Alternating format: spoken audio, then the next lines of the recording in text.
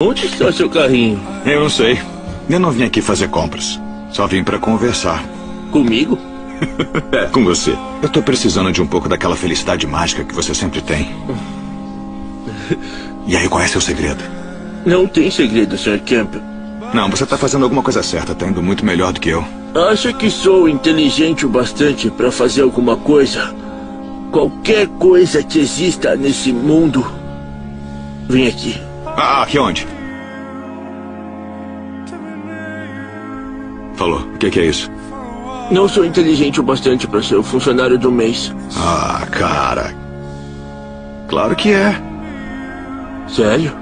Vou te fazer uma pergunta. Você acha que o coach sabe todos os códigos de frutas de todas as frutas aqui no mercado? Eu sei de todos os legumes também. É, viu só? É isso que eu tô dizendo. Ele não sabe fazer isso.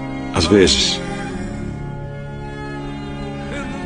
Bom, às vezes a vida não é justa. Sabe?